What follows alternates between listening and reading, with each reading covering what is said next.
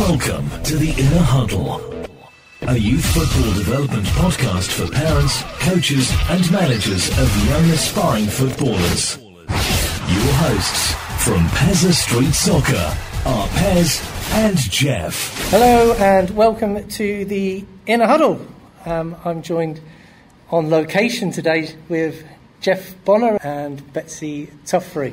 Is there a magic age range where children develop most of their habits for life? Wow. No. No, okay.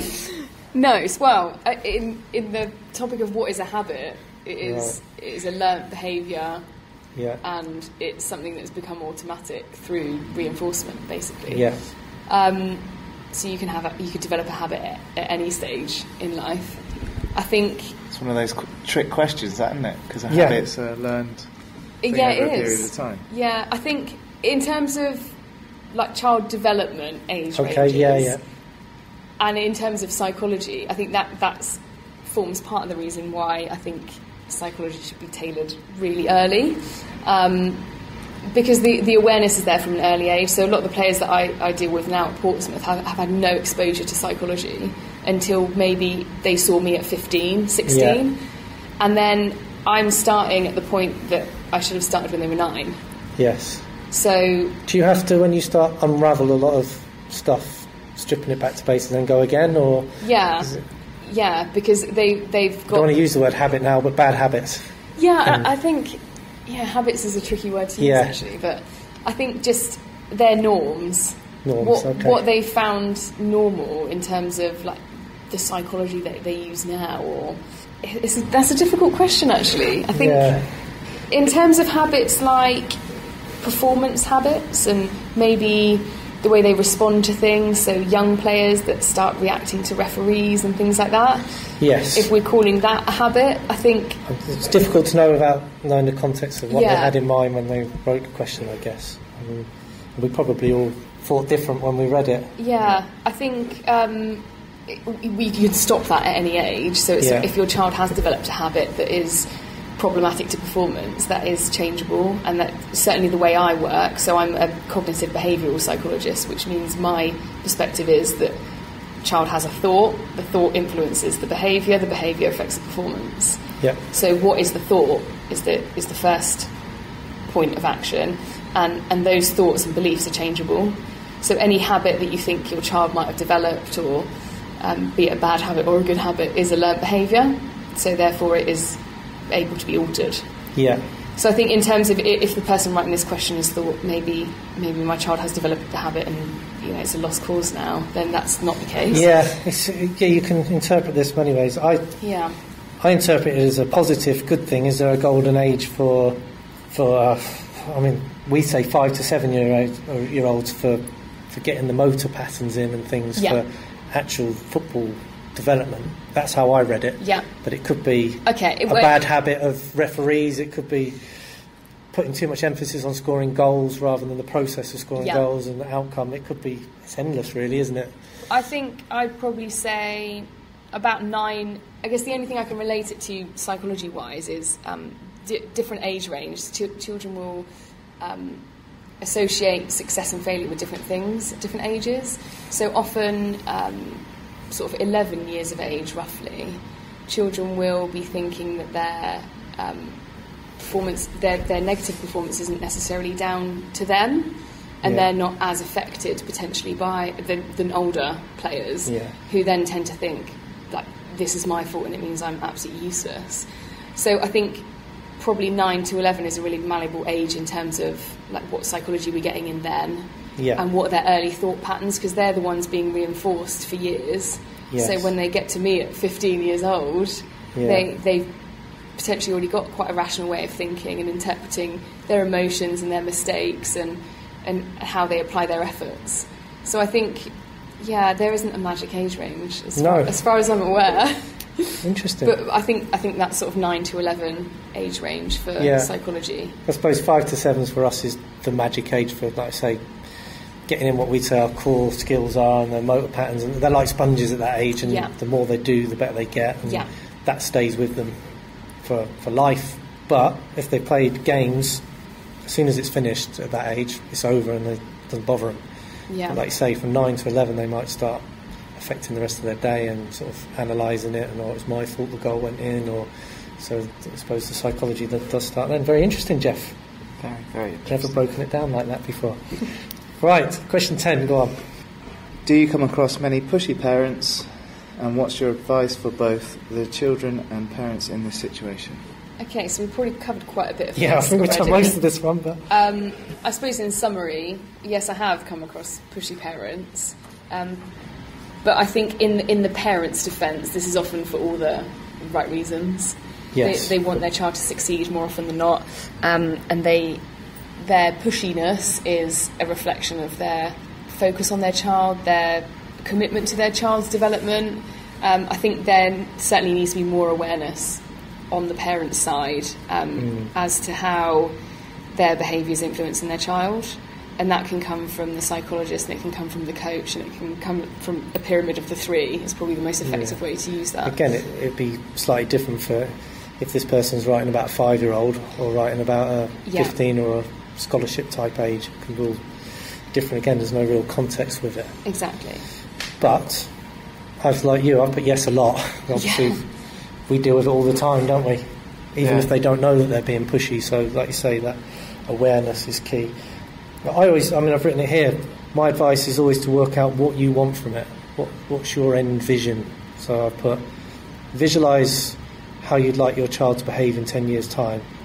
So if you want your child to be confident, still playing, still enjoying the sport, um, even if it, you know, there's no rights and wrongs with it, it could be you want them to be a professional, playing at the highest level, and however you picture your child, are they popular? You know, you know, are they going out? Are they got friends? And then you have to match your actions to it, because if your actions aren't matched to it, if what you're doing could possibly stop them from enjoying the game, stop their confidence, and then you've got to think, oh, actually, I'm, I might be doing something wrong here. Yeah. I think that can be quite powerful if you say to if you carry on like this, how do you think it's going to end up? But what do you want it to end up? Yeah. And then and then simple match your actions to whatever your whatever you want from it. Yeah. But at some point it changes from what you want to what your child wants, and then you've got to match it up to both of them. So it's not quite as easy as that. I think a lot of parents would probably say that they all they really want is for their child to be happy, All of them say it. but their behaviours perhaps not um, Yes. aligned with that at all times. So it's a perfect example. So we get it a lot. We just want to be happy and enjoy it, but they're not. So why are they not? Because you're analysing in the car on the way home. You're not letting them go to McDonald's afterwards because they've lost. Dad's grumpy all weekend because you've lost the game. Yeah. And your body language, and this, that, and the other. And the risk is they kids then have an attachment or think that the only way they're going to get their dad's love is through results, winning games, Yeah. or scoring, or my performance, and then that's a very dangerous, Yeah, that's an unhealthy place to be. very unhealthy place. to be. I think the, the, the other situation I've come across um, in, in my career so far is parents who are either ex-professionals or Ah, yes. um, know a few of those. yeah have have links have links with, with the children, some or young adults in Yeah. in my case mostly, but that's a difficult situation to balance because they the parent might be extremely knowledgeable Yes. about their child's development and their own experiences, but they're also basing those experiences on something that happened maybe 20, 30 years ago. Yeah. Um, and things have changed. And the, the quote I hear all the time from particularly ex professionals is, We didn't have that in my day, or I didn't need all of that psychology rubbish. And yet, actually, a lot of the things they talk about are all based on psychology. Yeah. Um, so I think that a parent that has been involved in elite football is potentially a difficult parent to manage. Yeah. Um, having said that, I've come across the odd one that's actually a, a better example of a performance parent, if you like, because they don't want to put the pressure on their child that they maybe felt when they were a pro. Yeah. So that's a difficult. I think it's really naive and dangerous if you think just because you made it and had a career that you know everything about all the developmental stages Yeah. of your child's growth.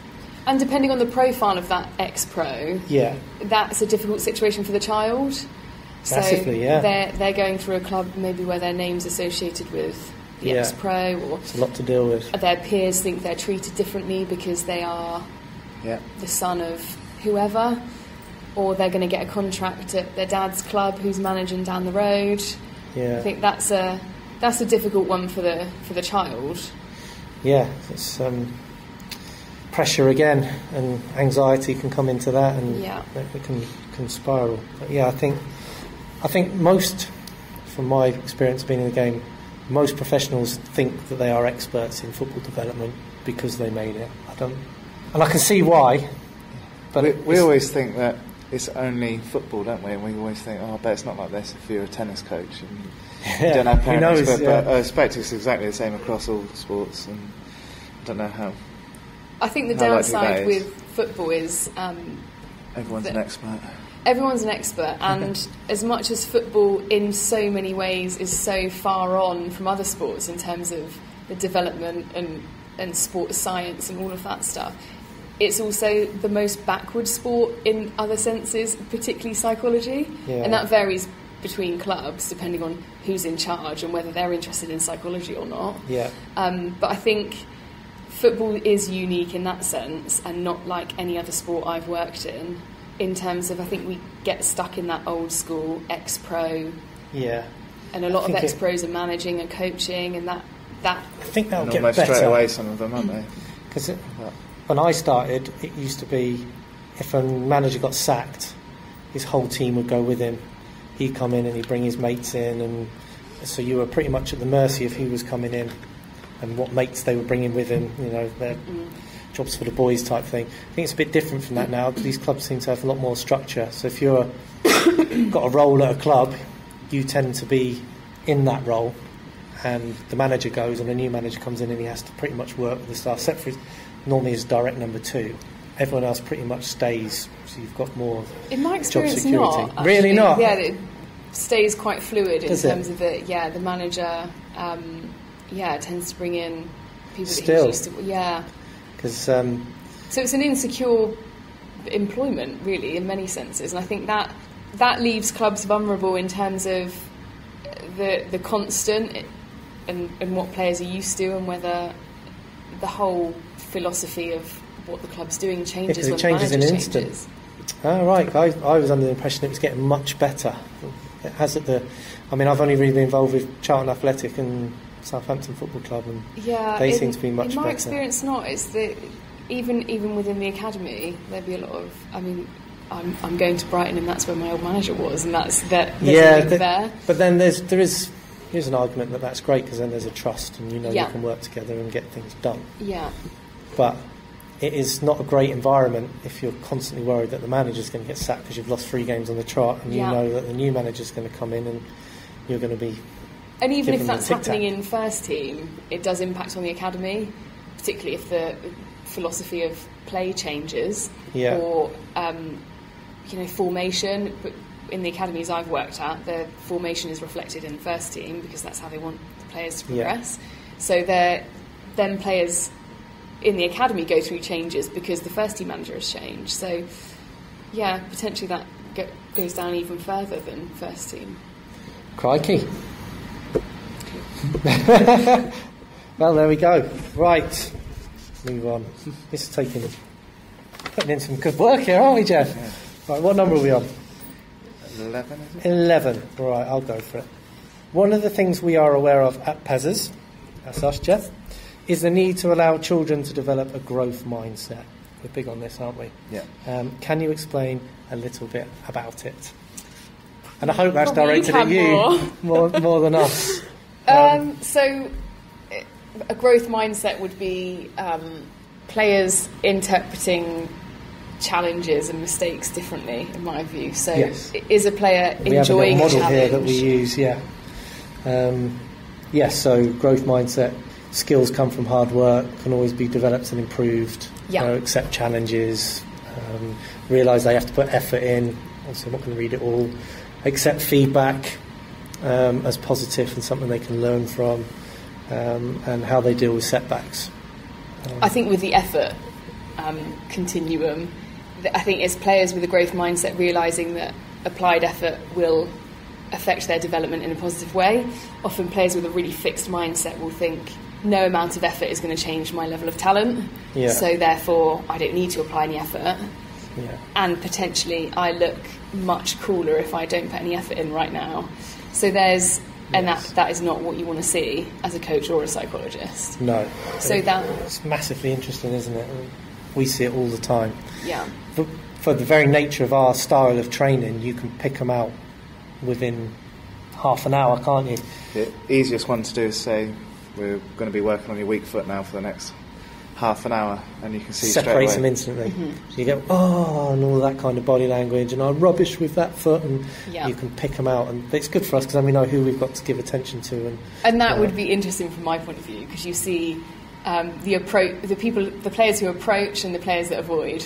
Yes. So that's all to do with challenge and threat. Do you, if you if you pose something like that to players, do they think, okay, great, I'm going to get to work on my weak foot. This is Yeah. this is good. I can develop. I can get better. This is what I want.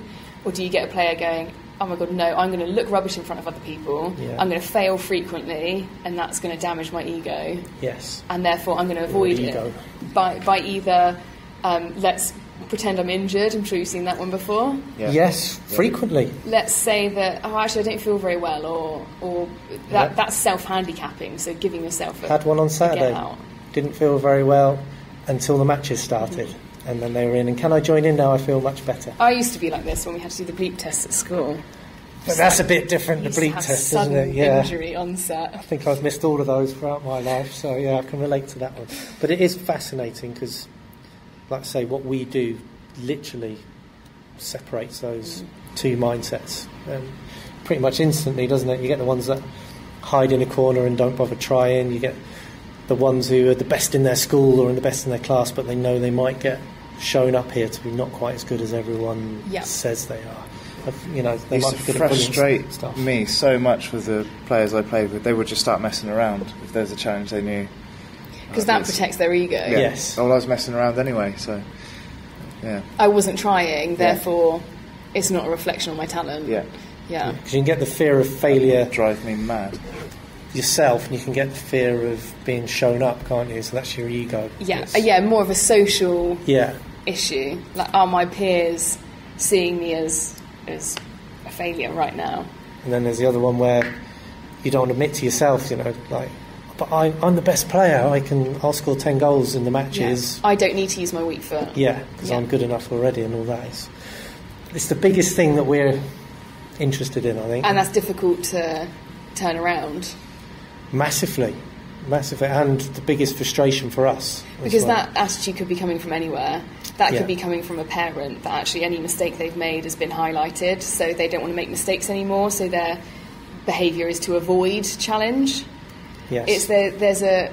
I, I won't get this right now, but there's a quote that um, I've used before, and it's from The Simpsons. All right, well, you've got And- a diehard Simpsons fan here, so I'm sure he knows the one. It, it was. I, I can't remember the quote word for word, but it's basically Homer Simpson saying, um, "Like I, am not going to try at that because if I don't try, I won't fail." Yeah, And that's so relatable, particularly with, with kids.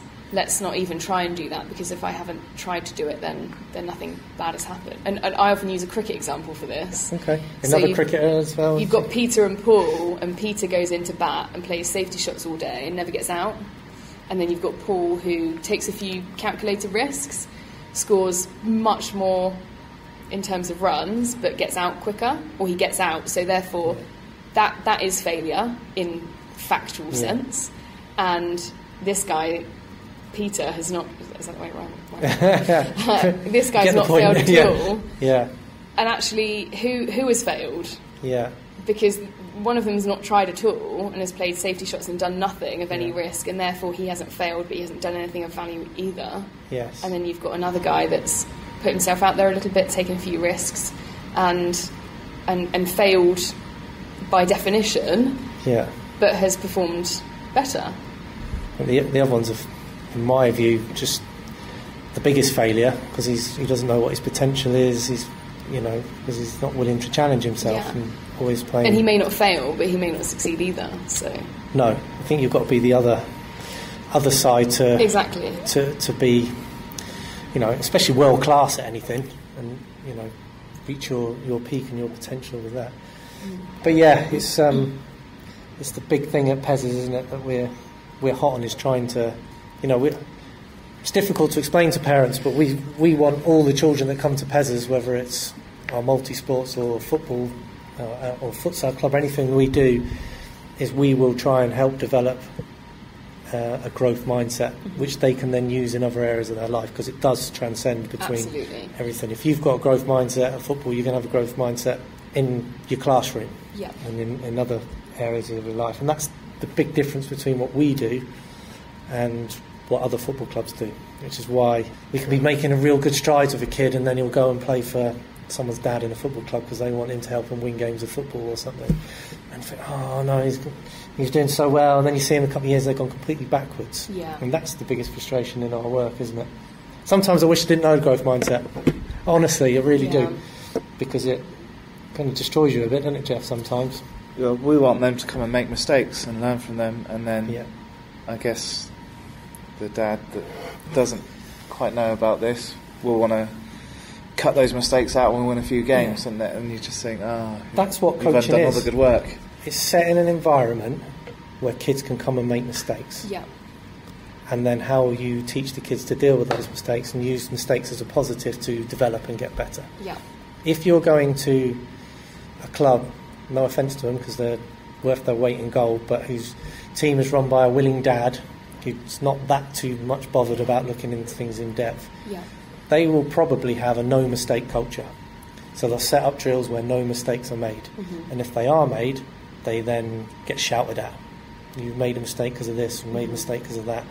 Um, coaching is about setting up the environment where they know they can make mistakes and they're accepted. And to make good coaches put on drills so that kids make most mistakes possible.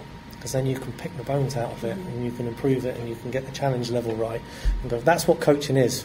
And it's difficult to get across to a lot of people, isn't it? Of people want the perfect drills and the perfect sessions and all of that, and it's nonsense. If I see, I see it on Instagram, all these perfect sessions that people have put on, and no mistakes, and doesn't it look beautiful? I think, what a load of rubbish. Yeah. None of they're they going through the motions. You haven't challenged them.